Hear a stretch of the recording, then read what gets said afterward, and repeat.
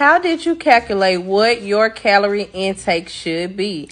Great question, and I'm going to show you how. It's so simple, it's super easy. Okay, boo, it's super simple. Open Google, put in calorie deficit calculator. Um, it's different ones to choose from. We going with the first one.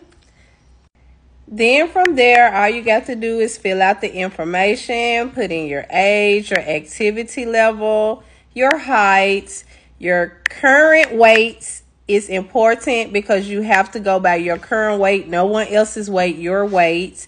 And then you calculate it and it will basically show you it will basically show you what calories you should be taking, how long it would take to get there, with which calories you decide to choose from. That's it.